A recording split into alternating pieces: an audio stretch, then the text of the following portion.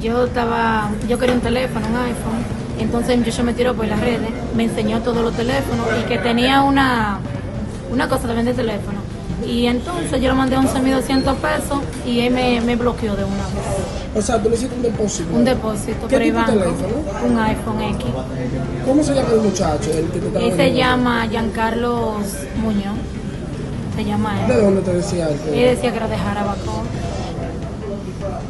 ¿Qué tipo de teléfono era? O sea, un iPhone X, de los números 10, ¿Cuándo tú le hiciste el depósito? el martes, como a la una. ¿Cuándo te, ¿cuándo te diste cuenta tú que ya era, era, Ayer, era una estafa? ayer yo me di cuenta porque él no me mandó la factura y cuando yo fui allá a Caribe Express me dijeron que no, que no me mandaban ninguna factura.